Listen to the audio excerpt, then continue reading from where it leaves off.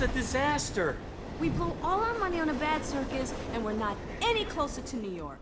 If anything, we're further away. We could have at least bought a circus that knew how to circ. I don't even know why we bought a circus in the first place. We had enough dough for a plane. Are you kidding me? You must have some money left over. Ah, I used it to buy tea, and then have them capped in gold. Now I can eat apples. Sadly, I discovered I, I don't like apples. No promoter is sending this show to America.